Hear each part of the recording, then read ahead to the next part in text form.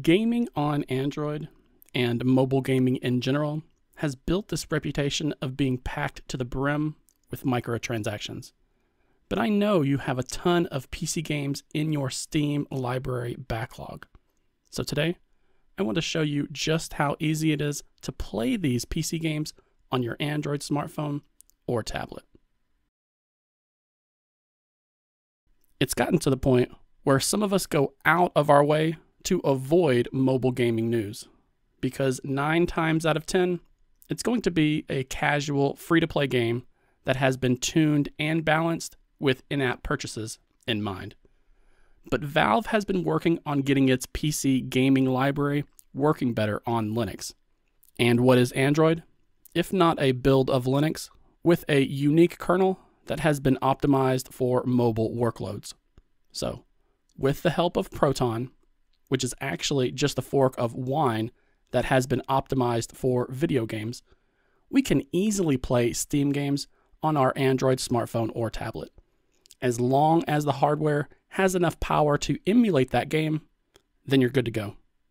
So let me show you how this works.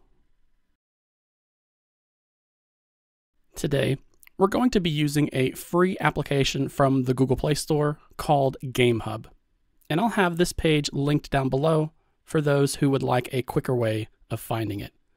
But you should be able to just search for Game Hub in the Play Store, all one word, and find it that way as well. Once this has been installed, go ahead and open it up. Then, after some permission prompts, you're going to see a row that we can scroll through right here. And the Steam icon is going to be very visible from here. So we're going to tap the sign into Steam option. And if you're worried about typing in your username or password here, then you always have the option of using the QR code instead. Making sure you have two factor authentication enabled on your Steam account before doing any of this is a great way of keeping your account secure and protected as well. Then, after we log into our account, we can browse through the games that we own in our library,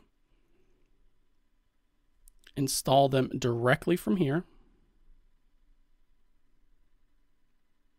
or we can actually search for them just like you would if you were using an actual Steam application on Android. And again, just takes a few taps to get that installation process going.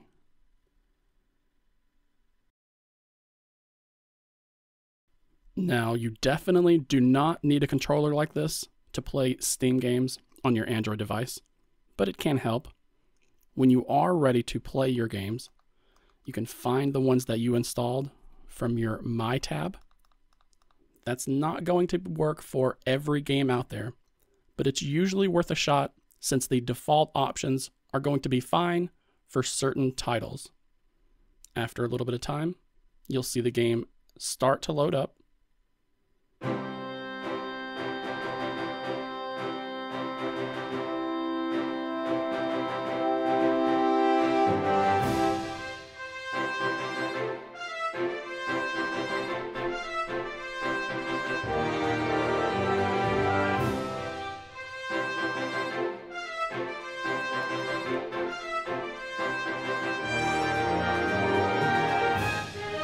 But if everything goes smoothly, you'll see it load up just like that.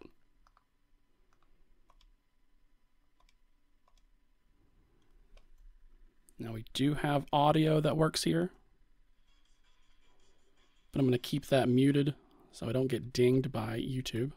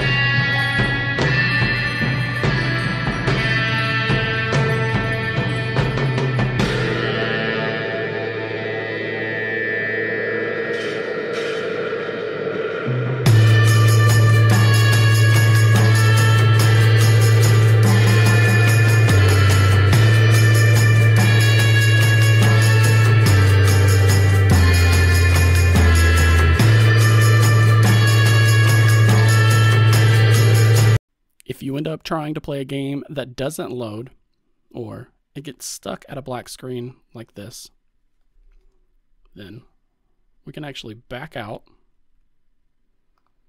go down here to this three dot icon, and then go into the PC game settings options. Now in here, you're going to find a compatibility section. And within here, there are a few settings that you'll need to focus on. This usually includes the compatibility layer, which you can change from Pro Proton to Wine. You can change the GPU driver, which if you have a device that is compatible with a Turnip Mesa driver, then you can load that up through here. Or you can download and set up the latest system driver from Qualcomm.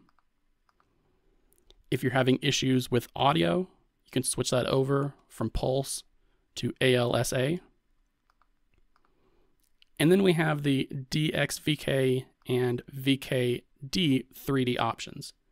Now, it can help if you know whether the game was built on DirectX 10, DirectX 11, or 12, and that information will clue you into which DXVK or VKD3D version that you want to use, especially that goes along with the CPU translator. But you can also check out the website emuready.com as well. Then go in here and use the filters to filter only GameHub and Winlator. Then go through this list, see if your game has been submitted, and then use those settings to emulate that PC game on Android. And if all else fails, it's a good idea to ask the community if they've been able to emulate the game on Android yet. The comment section for this video here, Reddit, Discord, or any other community forums are all great places to find help for these specific emulator settings.